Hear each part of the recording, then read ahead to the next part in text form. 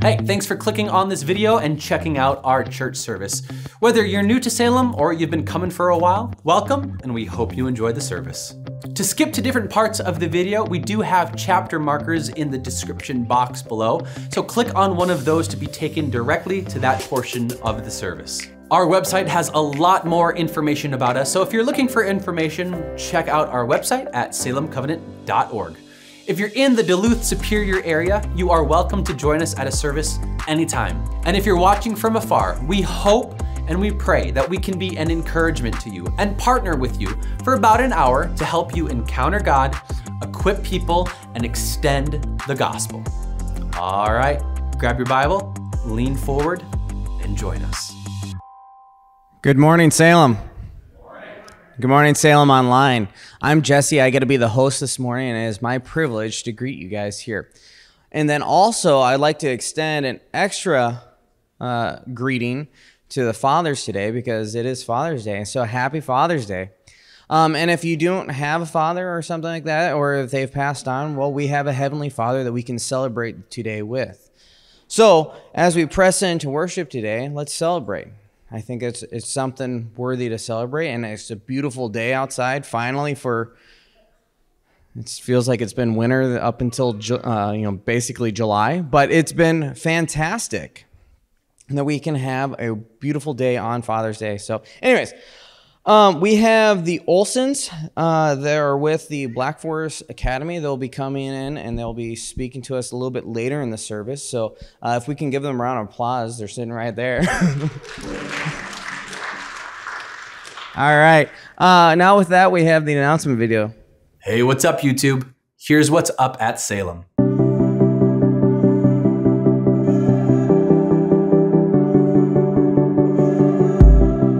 Thanks for checking out Salem Online. Now, if you want to get connected with us here at Salem, uh, please consider filling out the Digital Connect card linked in the description box below and fill that out with as much information as you feel comfortable sharing.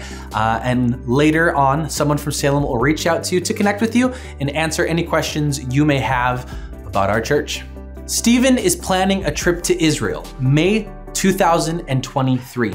And he is having an information meeting on July 17th in between the two services in the Remedy Room. Tomorrow, June 20th, we are having our annual congregational ministry meeting here in the sanctuary at 6:30 p.m. We will be uh, zooming that meeting, so if you can't make it in person, please see if you can join us via Zoom. All right, next weekend, our Sunday service is not going to be here at Salem. It's going to be at camp because it is the Salem Family Getaway. June 25th through the 26th. Uh, you need to register with camp if you want to stay overnight, or you can just go to camp go home, and then go back to camp. Uh, it is a 35 minute drive from the church, so be aware of that. It also starts at 10 a.m. on Sunday, not 9, not 10:45, but 10 a.m. Uh, we are not live streaming it because we don't have a good way to live stream at the camp.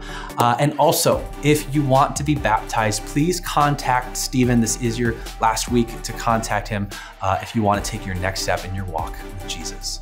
Salem Kids Camp, our VBS is coming up at the end of August. And so we are planning and prepping. So please, if you are interested in helping, uh, contact me and uh, we'd love to get you plugged in. Uh, we need a ton of volunteers.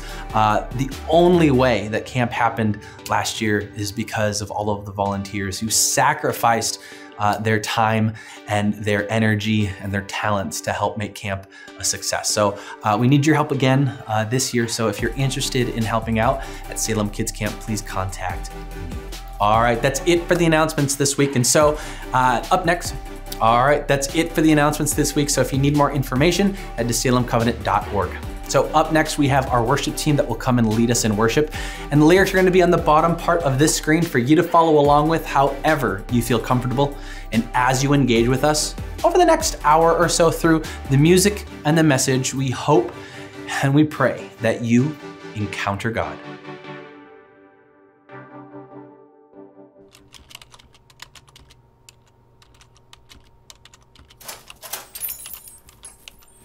Hi, uh, I got a call about my son, Ben. Oh, yes, Mr. Mason. He's in with the principal.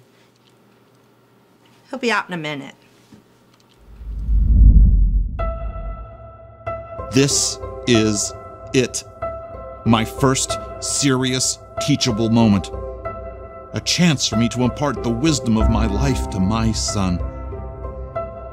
If he thinks he can get into whatever he did at school and get away with it, no, sir. Not this dad. Look at him. Like a sponge, ready to soak up all my life experiences.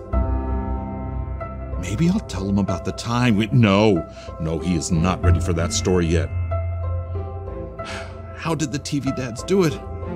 Like Mr. Tanner, or Dunphy, or the great Mr. Belding. Wait, he was the principal. Maybe he was a dad. Doesn't matter. This is going to be awesome. I'll start with a relatable story, then show how I thought I was cool by doing something wrong, and wrap it up by how bad it got and what I learned. Finally, bring it home with a scripture and a prayer.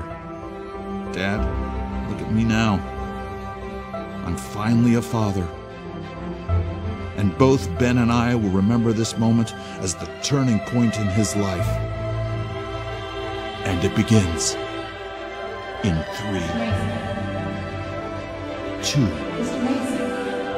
Mr. Mason, thanks for coming in. Ben is free to go now. You know, it was really great how he stood up for those other kids. He's not in trouble? no, he's not in trouble. But my moment. You should be very proud of Ben. Great job, Dad.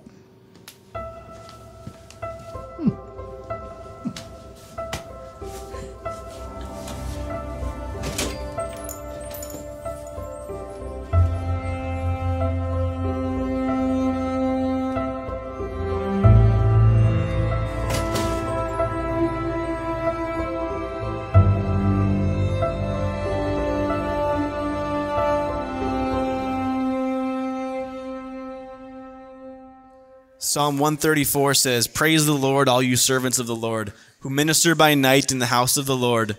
Lift up your hands in the sanctuary and praise the Lord.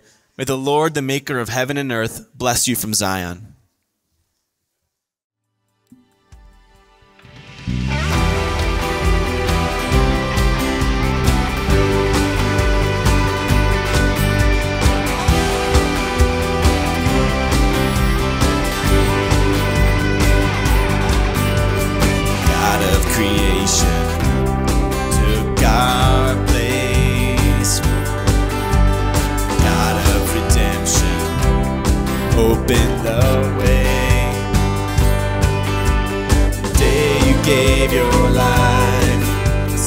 Failure in our eyes, but the stone you rolled away as you walked out of that grave. Let this place erupt with praise. Why do you look for the living among the grave? Jesus lives, all the earth sing out. Death has been broken. This changes everything.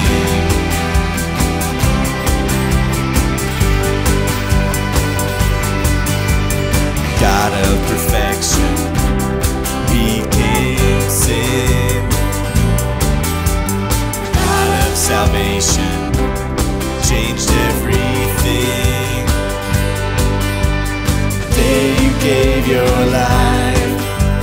Failure in our eyes, but the stone rolled away as you walked out of that grave. Let this place erupt with praise. Why do you look for the living among the? Jesus lives,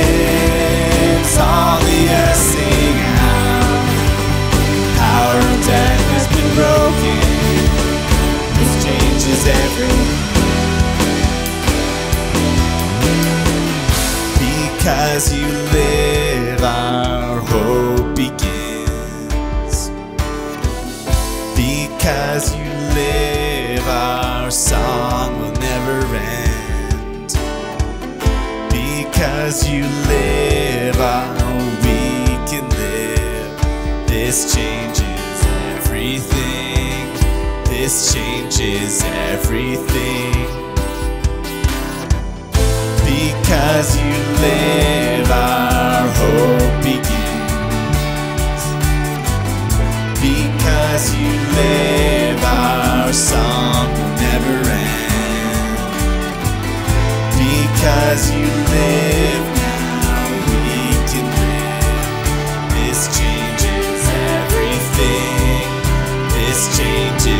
everything. Let this place erupt with praise. Why do you look for the living among the?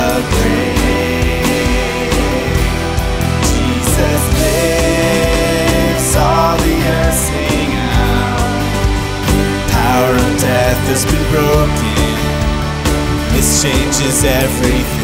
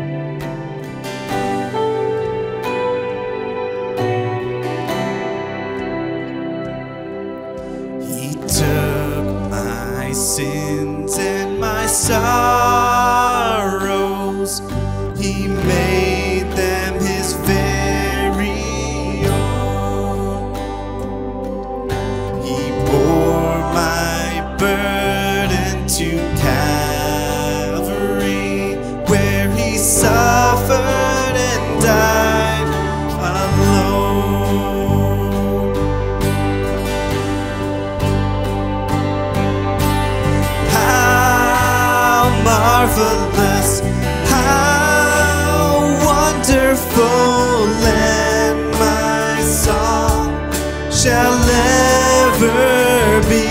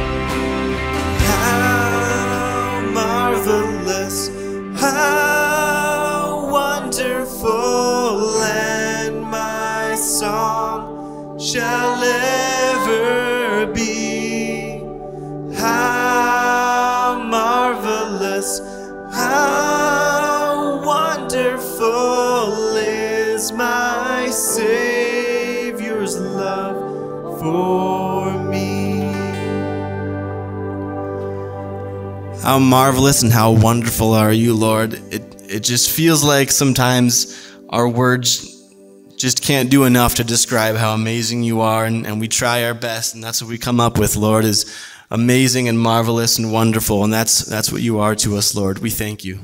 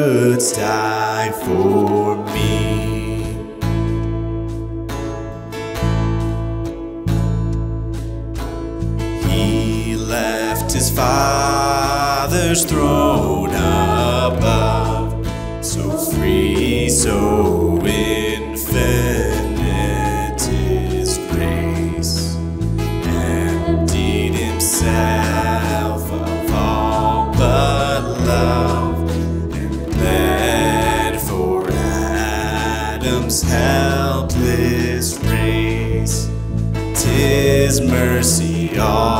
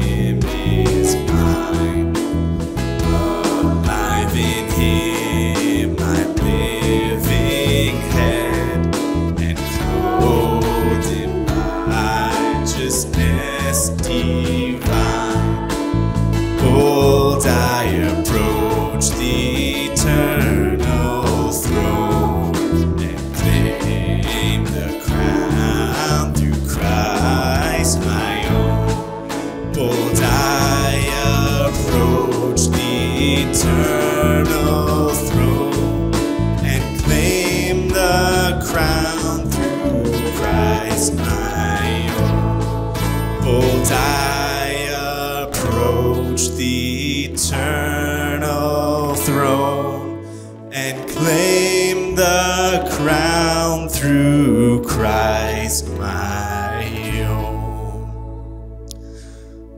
Oh Lord, that you would give us a stake in, in your blood that covers over us and, and washes us clean of our sins and bring this, brings us into right relationship with you, Lord.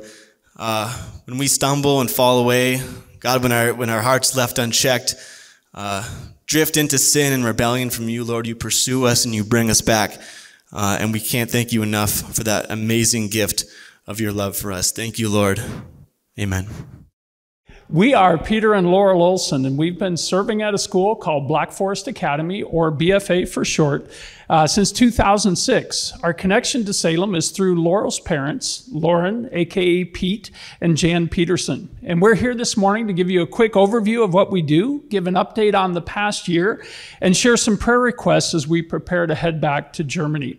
So on the next slide, you'll see a map of where BFA is located. It is less than a half hour from both the French and Swiss borders in the southwest corner of Germany. And on the next slide, you'll see our campus. BFA has students in grades 5 to 12. Our middle school, grades 5 to 8, had 40 students this past year. The high school uh, had 202 students. And of these 202 students, 111 participate in BFA's boarding program, meaning that they come to live in one of our six dorms during the school year. This past year, you'll see that our students came from over 45 countries where their parents are serving or where they're working. And a key question for us is why does a school like Black Forest Academy even exist? And part of the answer is that for missionaries, meeting the educational needs of their children, not to mention their social, emotional, and spiritual needs, can become a significant challenge. This is why BFA exists and why we do what we do. BFA was started and still is primarily a school for missionary kids. Our second key question this morning um, is why does BFA have a boarding program? And the reality is that some missionaries are located in places that do not have a good or even a viable option for their kids to get a good education. And this issue becomes more common as students reach high school age. The local opportunities where they are may not be adequate. Homeschooling gets more difficult with higher level academics. Students struggle with isolation and loneliness, and that's a big one. Students want to be involved in extracurricular activities like sports, music, or drama. Sometimes a host culture for a family might be hostile or unhealthy for that student. And some students need to prepare for the re-entry into college and in their home culture. It's not an easy decision for a family to send their high school student away to a boarding school. And it's not for every student, but sometimes it's the best decision. One set of parents shared that the decision to go to Eastern Europe to the mission field was the easy one. But sending their son to BFA as a ninth grader after he was struggling in the national schools and experiencing isolation and loneliness was a much harder decision to make for them as a family. But it was the right one for that student. For some missionaries, a school like BFA can be a key factor in their ability to remain in their field of ministry. BFA is a school, and in theory, students come for an education. However, we know this isn't the whole story. Our students come for sports, music, and drama programs. They come for things like chapel services, small groups, and mentoring programs. And in many cases, they come for social connection, for relationships, which we have a sermon series here that talks about the importance of relationships. Since last summer, we've been on home ministry assignment in the USA. We wanted to have time to support our family, both our boys and our parents during this year, and that has been possible for us. We've been grateful for our ability to be present with them.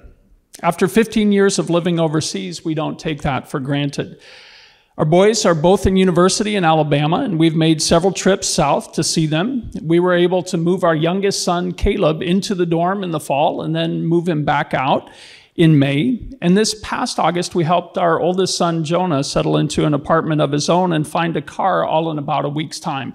If you remember, we had shared that as a prayer request in the fall at Salem, and that was one that the Lord answered.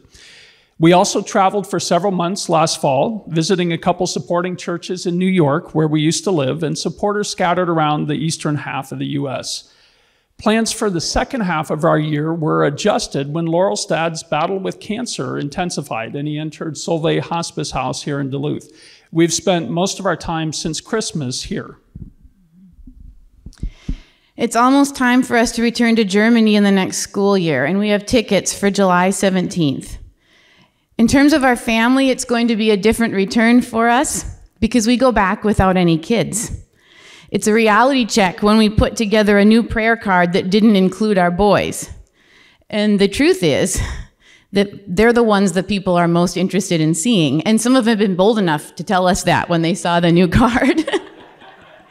However, if you'd like to pick up a new card, though it's perhaps not improved, um, we do have some available at a table that way. When we return to BFA, I will once again be the math department chair and be teaching high school math and physics. I'm also dusting off my programming skills to be ready to teach a computer science course for the first time. For the past 10 years, Laurel has been an assistant to the head of school, and earlier this year she was asked to switch to an admissions role as the staff person currently running that program or the admissions department is leaving at the end of August. This is a critical need for our school, and she agreed to make the switch. The good news is that she's been around long enough to have a good idea of how everything works. In terms of how the world is doing, we go back during a time when there are a lot of uncertainties. COVID regulations and restrictions have had a significant impact on BFA, and that impact was still felt through much of the last school year. We don't know what the next year will hold and how the German government will respond. The Russia Ukraine situation is impacting Europe in a huge way, politically, socially, and economically. Rising costs and inflation are not confined to the USA. These are also being felt around the world. Things like global instability, politics, pandemics, economics, these all have a significant impact on the missionary community as well. Please be in prayer for this, at the same time knowing that God accomplishes his purposes despite the obstacles that we might see around us.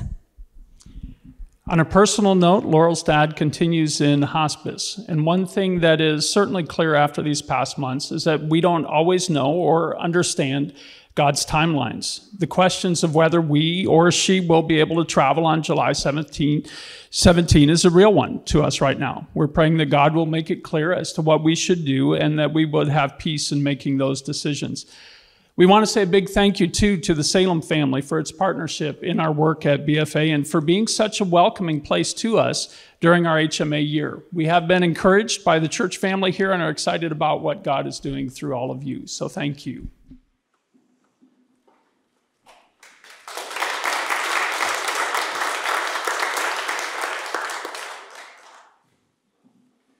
I want to take some time this morning to just pray for um, both of them. It's been such a fun year to have them around, even in the midst of all of the hardship that you guys have experienced. But God's timing is just perfect.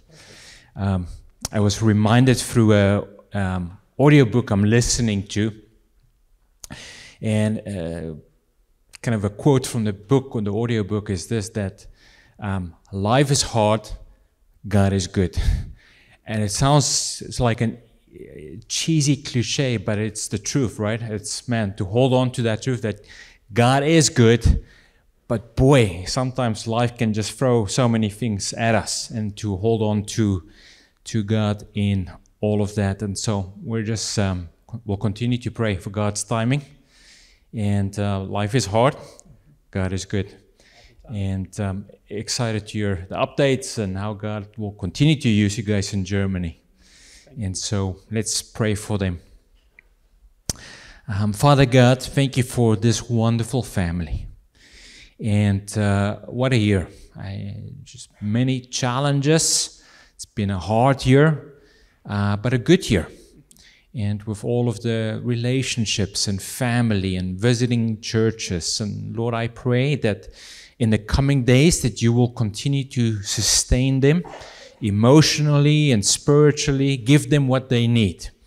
And I pray that you will just be so present uh, in their lives. And I pray that they'll continue to experience your Holy Spirit um, uh, by bringing them peace and joy in the midst of um, hard times.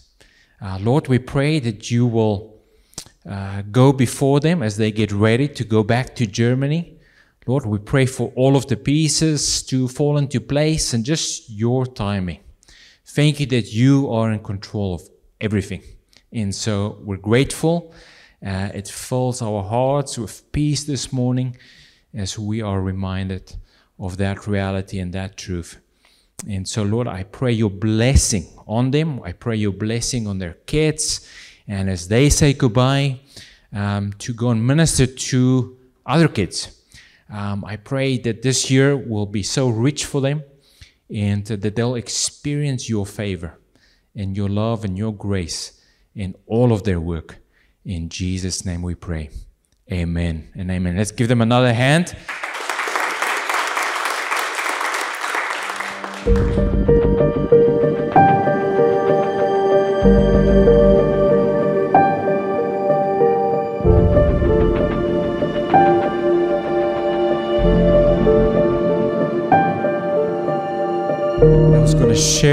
This morning um, several other prayer requests. Before I do that, just say again, good morning and welcome. I'm Pastor Stephen Osborne.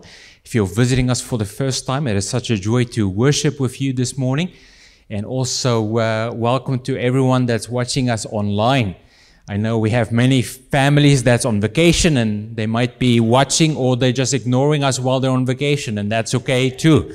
I won't. I don't blame them. Um, and then we have several uh, just families that's dealing with health challenges, and so we want to continue to pray for them as they um, recover. And then just one more prayer request this morning, uh, kind of bittersweet. We've got the passing of Shirley McMillan this morning. And so, if we can continue to pray for Daryl and for Cindy Johnson, um, they just found out they were planning on being here this morning, and they were actually here, and then they heard the news, and so um, we want to just pray for them uh, as they as they grieve.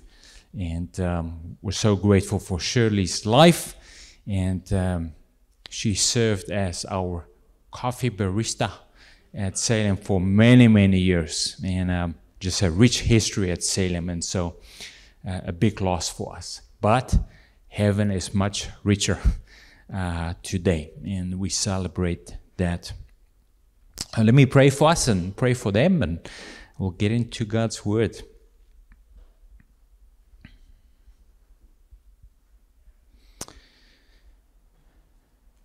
Father God, we all know as we reflect on seasons and the joy of new life, and also the complexity of different emotions as we say goodbye and as we grieve, uh, the loss of loved ones. And so, Father, we pray for Daryl and for Cindy and their family this morning as they grieve. And we pray that your Holy Spirit will bring comfort. Um, Lord, the reality is, um, doesn't matter how prepared you are uh, in those moments we're overwhelmed with emotions as that reality sits in. And so, thank you that you are our God of peace and our God of joy in the midst of hard times. And Lord, even for us this morning, as we maybe deal with all kinds of challenges, uh, I pray that we'll experience your, your presence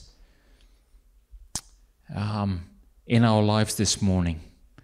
Uh, Father God, thank you for this opportunity to just be in your word this morning. I pray that you will teach us, uh, that there will be some uh, principles and lessons that we can apply in our own lives as we look at different relationships that we get to experience while we live on this earth. And so we give you this time in Jesus' name. Amen and amen. If you're visiting this morning or watching, um, we're part of a, a, short series. We're calling it Relationship Killers. And um, last week we talked about the first thing that really kills a relationship is the lack of communication. So we talked a little bit about that. And uh, we will continue this week. Next week, we'll take a break because we will be at camp. And I want to encourage you, if you have the, the means and the time, please join us on camp Saturday. Uh, it's going to be a great time. Just a lot of uh, activities for the kids. There's campfire Saturday night. There's a worship team. And um, we'll be able to gather together as, as a covenant family of all of the other covenant churches in the area. And so come on out, bring the kids, a lot of swimming, a lot of fun. And then on Sunday morning, um, we will have wonderful time of worship out there and we'll have a baptism. And so uh, looking forward to that. So please be intentional. Really want to invite you to just to come out and um, you know join us. Um, last week I share this reality and this truth we are built for relationships. We really are. I mean, in a sense, when we think about just the way as we look at the Trinity and that supernatural relationship that exists within the Trinity, um, and we can kind of see that spill over in other relationships.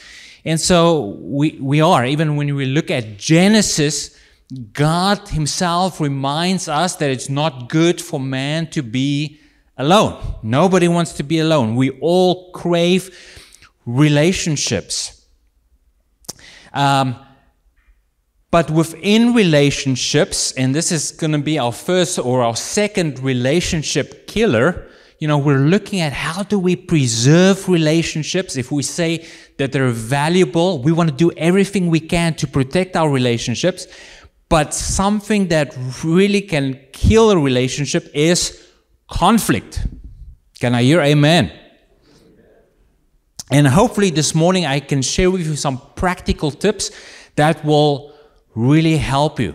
Uh, anybody experience conflict before in a relationship? Okay, four of us. Okay, that's. I'm going to your guys' church. You're doing something right. Those of you that have never experienced conflict. Um, but here's the reality because people aren't perfect and relationships are messy, we all need to learn how to resolve conflicts.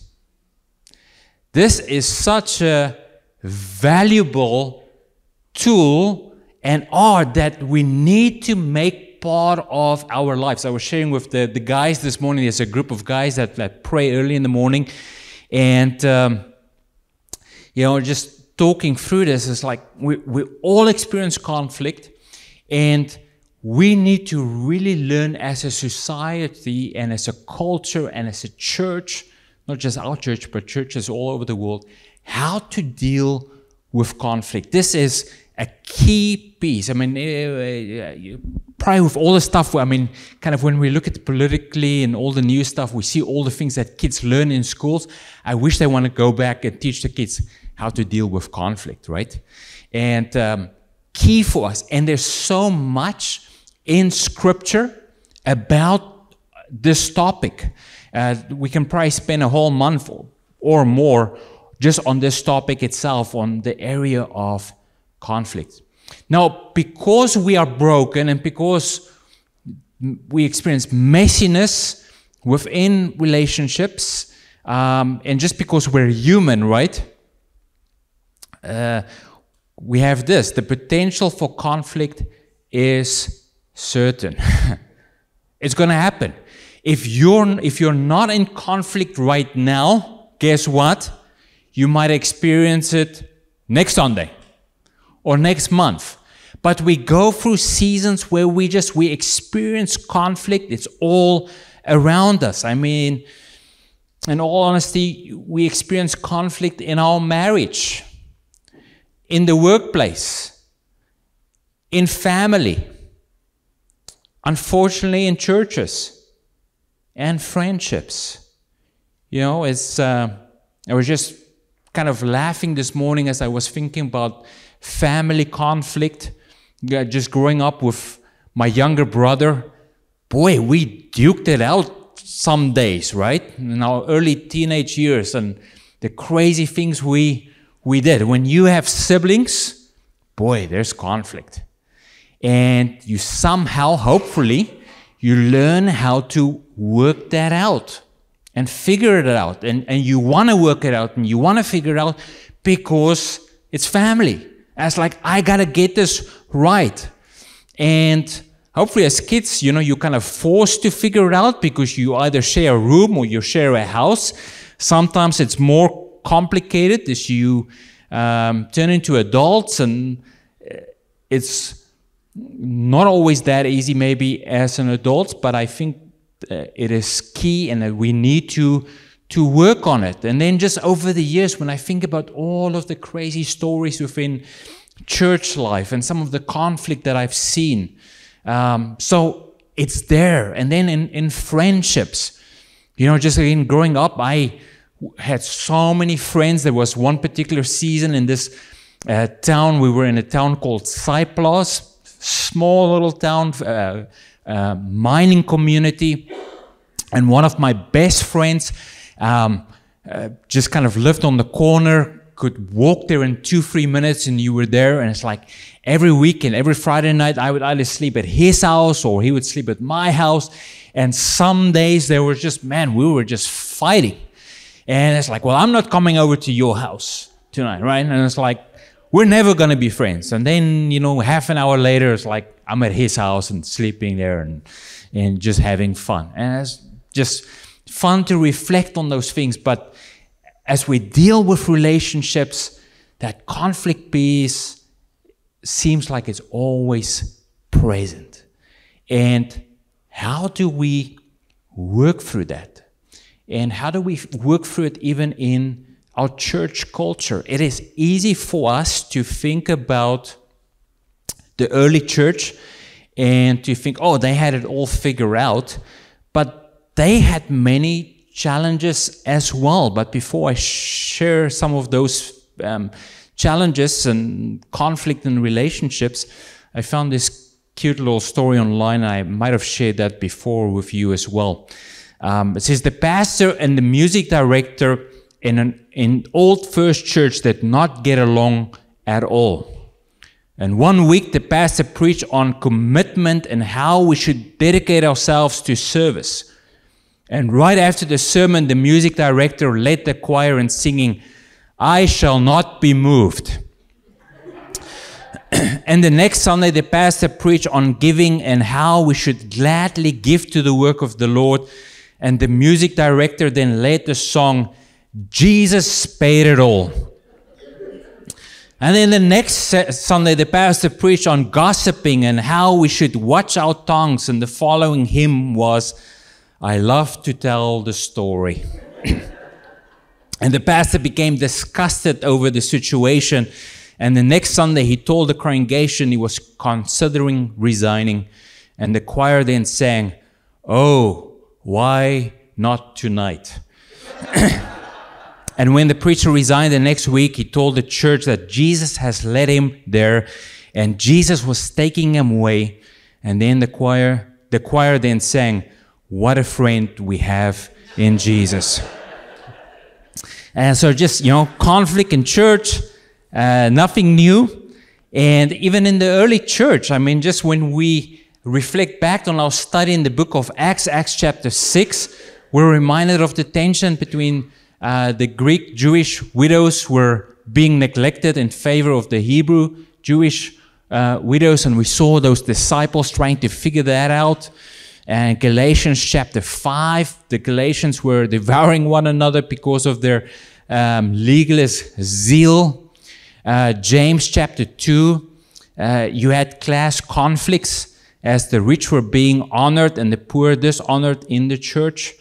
And so, just easy to think, oh, that early church that was so wonderful, they were perfect. No, they were not perfect. They dealt with many challenges and things that we even still deal with today, but we have to learn how to deal with that in a biblical way. I found this great quote uh, that, that is such a great image. It says, Many of us in the church are like porcupines trying to huddle together on a bitter cold night to keep each other warm but we continually poke and hurt each other, uh, uh, uh, hurt and hurt each other the closer we get. And it's like, man, that is so true. We don't try, but yet, you know, our sinful nature, um, we just sometimes hurt each other. Now, I want you to write this down. This is important as we start to look at how do we deal with conflict. Conflict resolution is an intentional choice. Many of us, depending on your personality, hates conflict. I mean, we will do anything to avoid conflict. I've seen this in my own family, Vanessa's family. You know, sometimes just it feels like the easy thing is to run in a different direction. I'm not going to deal with this. Uh, and so conflict is, is hard. And to try and heal and restore and to resolve, that is really hard. And you have to be very intentional with it. And so even in Matthew 18, we see, as it deals with conflicts, is if another believer sins against you, Go privately and point out the offense. If the other person listens and confesses, confesses it, you have won that person back. But it just it shows us that there needs to be a response, right? A lot of times we have to go out, we have to make that phone call. I want to encourage you as you deal with conflict and different things do not just sit and let it go. Don't think, well, just by avoiding the situation, it's going to get better. The reality is, a lot of times, it doesn't get better. We have to be intentional. We have to make that hard phone call. We have to write that hard letter.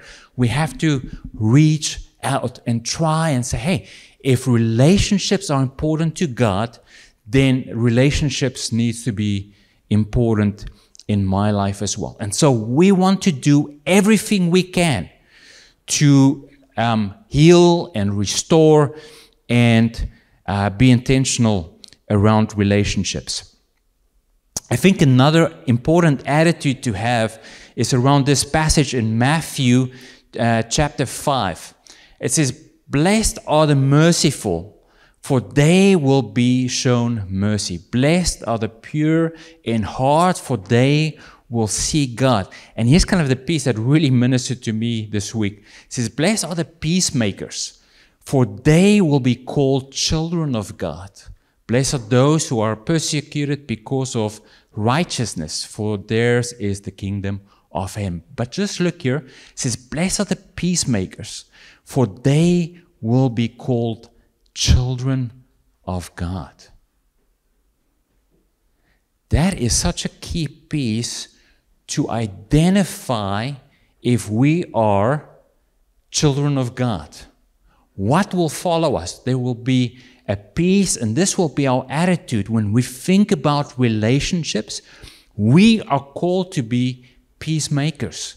A lot of times people have not a good biblical concept around this word. Peacemaker or to be a peacemaker doesn't mean you just avoid or you're just a, a doormat and you don't confront. Uh, this word actually comes from uh, uh, Greek culture, where a lot of times uh, a peacemaker was an ambassador that was sent into countries or a situation where there was conflict and they had to go in and then try and be uh, and trying to reconcile. And in the same way for us as peacemakers we are called to reconcile one people and God to try and reconcile that relationship. We're also called to be um, to help reconcile relationships within our families, within the church.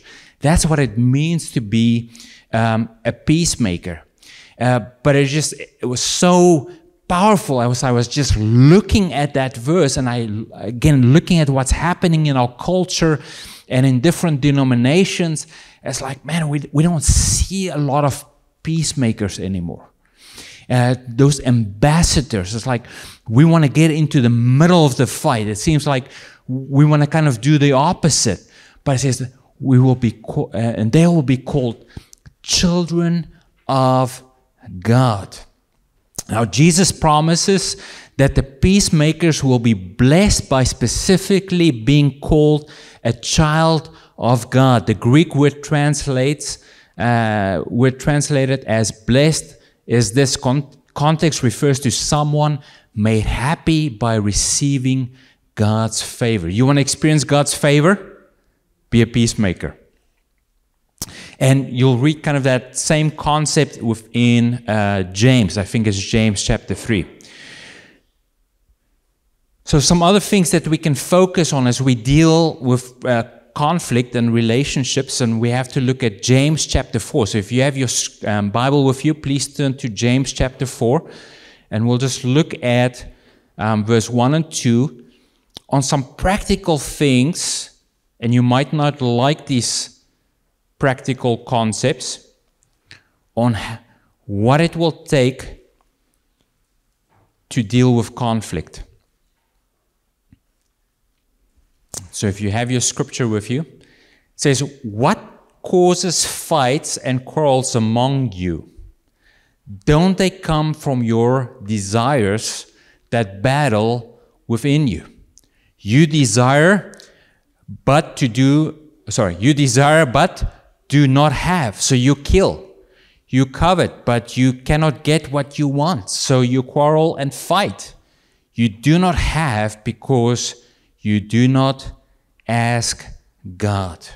Uh, just that word, uh, what causes fights and quarrels, is actually, uh, when you translate it from the Greek, it talks about war. And so he's, uh, James is actually just saying, hey, this is such an extreme case. Some, it's amazing how something small, and maybe you have experienced this, or maybe you have witnessed this, where there's maybe a, a small little conflict, and how something small can really turn into a war. And a lot of times when you look at those things and you look back, it's like, how did we get here? How did things get so messy? This was something so small, and now we have turned this into, into war. Uh, and just how messy that is. And so here's something I want you to write down as we deal with conflict. How do we resolve conflict when we look at this passage? Here it is. Check your own heart and stop the blaming.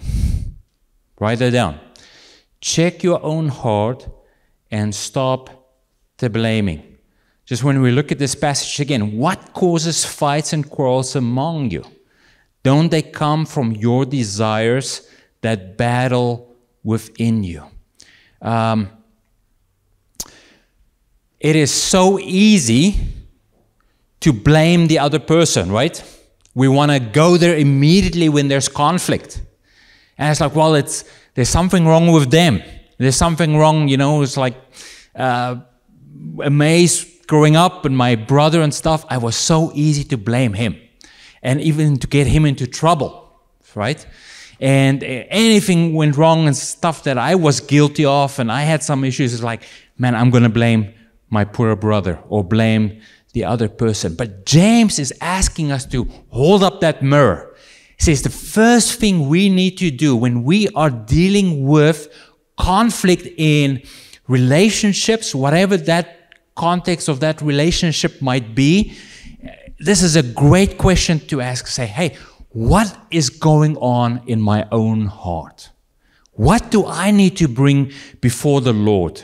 Um, is there more to the story? Because a lot of times we are blinded by our own shortcomings, we're blinded by our own mistakes uh, and blind spots, and we might miss out. Uh, and so we need those um, honest time with God to just say, God, what's going on in my heart? And to deal with that. And then just to stop the blaming. I mean, we even see it today in our culture again, right? It's, it's always the other guy. And what if we can take a pause and just say, okay, I'm not going to blame the other person in this relationship, but let me just make sure. Let me make sure that on my side things are okay, and um, my heart is sorted out and, and in good standing with with the Lord. And then number two, repent and pray. Repent and pray. This passage reminds us again, kind of when you, even when you read the rest of the passage, I'm only giving you part of it, but when you go and read verse 3, it says, You do not have because you do not ask God. Prayer is so key. I mean, a lot of times when we think about conflict, how many of us really pray about it? How many of us really seek the Lord first before we uh, address that conflict? We need to create that moment where we just we pray, we um, soak it in prayer, and pray for the other person that is involved, and to trust the Lord and to seek for wisdom. And then to repent as well. I mean, if there's some fault in your own life, and um, you know, repent. Um, but these are key internal things that we need to address as we look at conflict resolution. And then um, seek. Amen. That's an amen. I like it. Seek restoration rather than retaliation. Can I hear amen? Romans chapter 12. It says, Do not take revenge, my dear friends, but leave room for God's wrath. For it is written, It is mine to avenge, I will repay, says the Lord. On the contrary, if your enemy is hungry, feed him. If he is thirsty, give him something to drink. In doing this, you will heap burning coals on his head. Do not be overcome by evil, but overcome evil with good.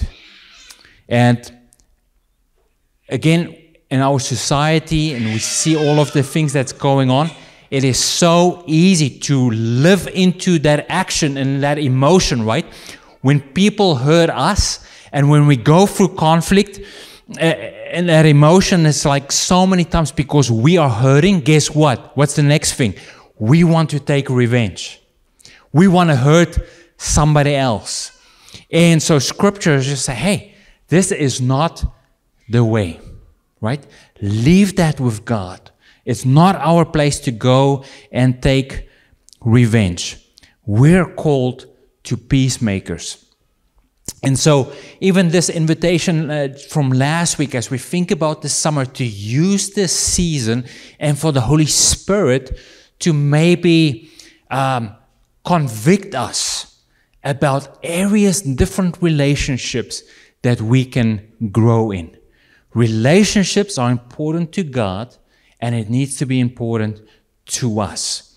Um, a lot of times, we as believers, easy for us to say, well, you know, I'm biblical, and I'm biblical in the things that I want to be biblical on. But if we say we're going to follow God's word, then as believers, it's important for us to say, well, let me allow God's word uh, to work through all areas of my life. As believers, we don't get to pick and choose. It's like, okay, I'm going to be biblical in this area. And it's like, man, doesn't matter what the situation, man, this is what God's word is and what God's word is saying, and I'm going to act this way. But then on the other end of things, then we kind of just avoid God's word and we don't act in that way.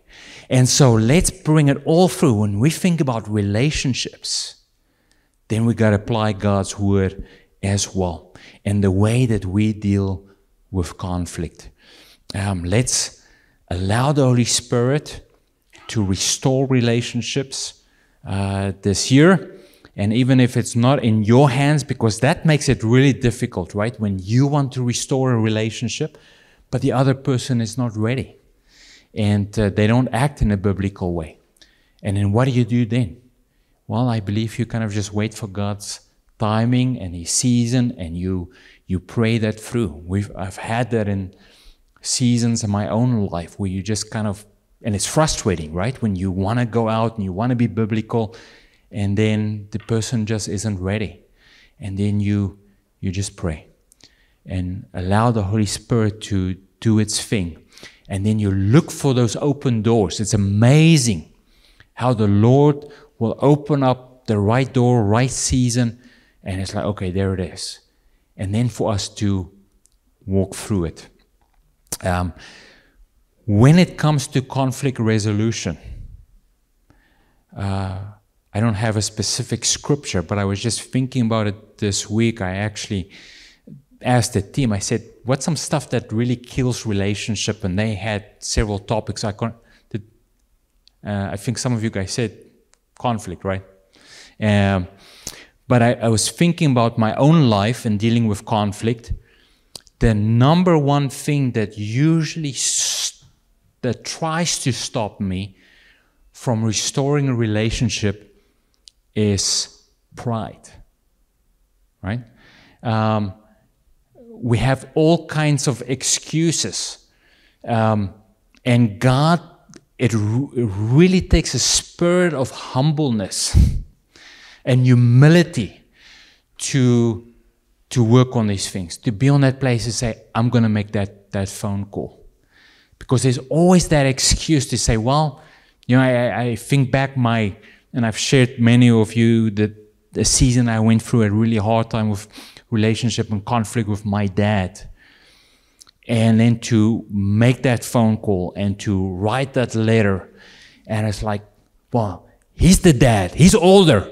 He should know, right?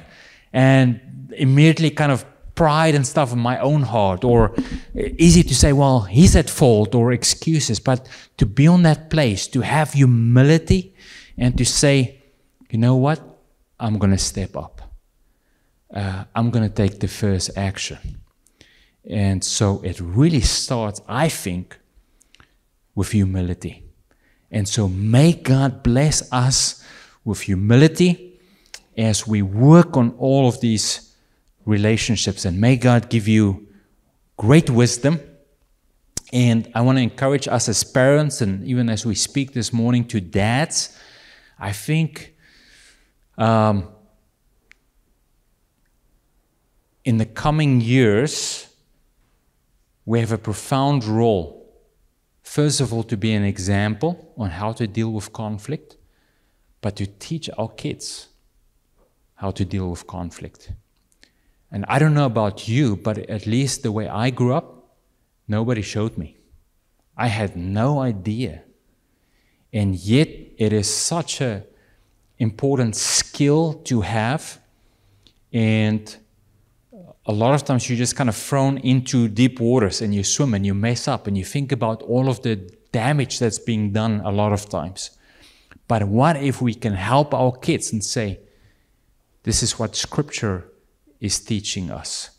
Go and apply this uh, in your lives. Um, I, I think that will be very helpful for them. I'll close with one story. We moved from one town to another town. I was maybe about fifth grade. And um, there was just one of those annoying kids, you know, it's like blaming. It's like there's always, it's always the other kid. It really was the other kid, this case. And um, man, he just poked fun every opportunity that he had. And uh, was one day I, the teacher left the classroom and suddenly I just had enough. Breaking point, right? And we just duked it out right in the classroom. It wasn't pretty.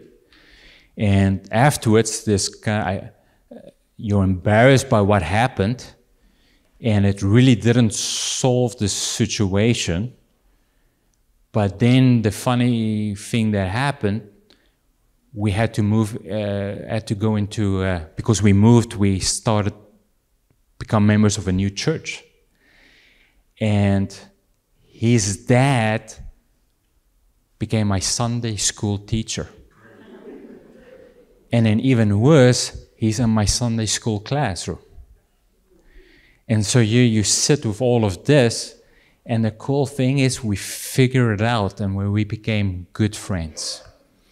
And so the Lord can restore all relationships. Don't give up on relationships. Fight for them because it is worth it. And we are created for relationships. Let's let's pray. Uh, Father God, thank you for relationships and the blessing of friendships and all of the different relationships that we experience in our lives and, and how it teaches us to relate with you, uh, what it teaches us about community, what it teaches us about our own sinful nature. And so, Lord, I pray that Salem will be known for healthy relationships. Lord, I pray that this summer that will be intentional. You know, we we all have some of those relationships that's uh, not flourishing, and I pray that you will come and do a miracle. Even when we think maybe of siblings, or spouses, um, friends, church, Holy Spirit, we invite you into all of those relationship pieces. And will you come and heal and restore? And may you be glorified um, as we deal with conflict.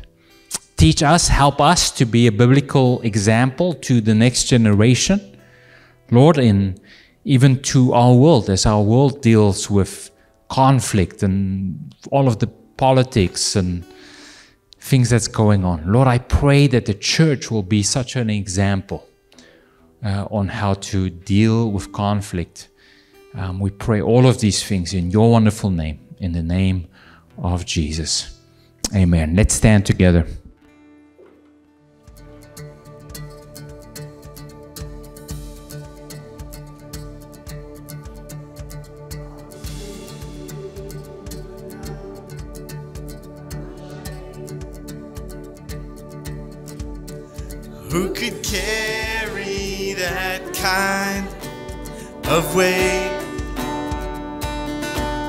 It was my tune till I met you. I was breathing but not alive. All my failures I tried to hide. It was my turn till I met you. You called my name, and I ran out of that grave, out of the darkness into your glorious day. You called my name I ran out of that grave Out of the darkness Into your glorious day.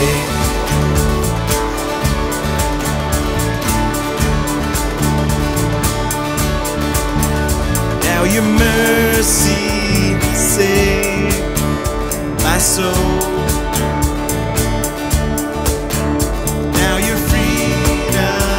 is all I know.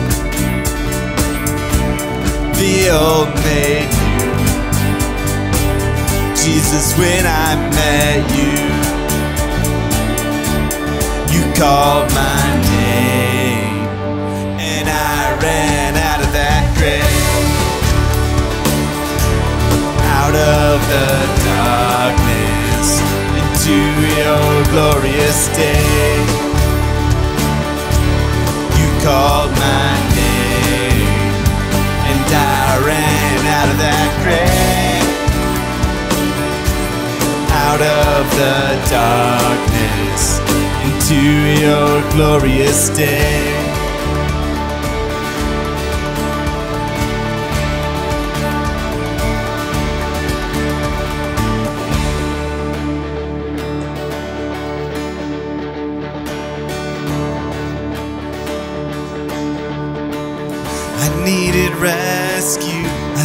Was heavy.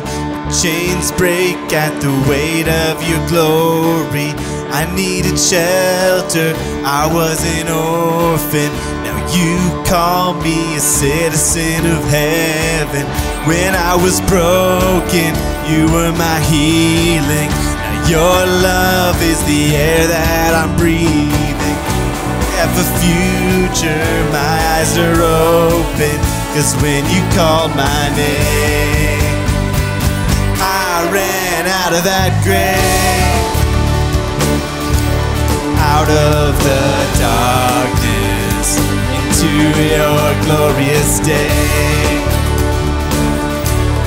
You called my name, and I ran out of that grave out of the darkness into your glorious day.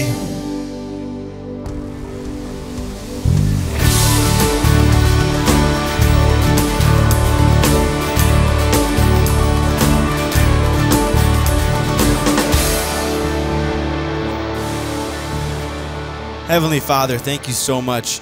Uh, God, we- we've been in conflict with sin from the moment we're born, Lord, and and when we when you walked out of that grave, Lord, and you called us out uh, to come out of our own sins, Lord, you you broke that conflict, uh, and Lord, I just pray that that would be the model that we use, Lord, in, in our own lives as we as we become peacemakers in our own circles of influence, uh, Lord, that the gospel would permeate our own lives, uh, and and that people would see your love in us uh, and that through you we, we could break down those barriers that separate us, Lord.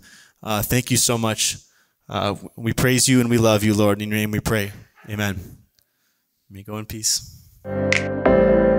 Hey, you made it to the end of this video. So if you're interested in learning more about Salem and getting connected with us, check out the description box of this video because there's a ton of links uh, that you can click on to find out more. And let me point out the Connect card. It's your way of starting a conversation with us about God, about our church via a phone call or an email. So please fill that out if you're interested. All right, we'll see you next week. Bye-bye.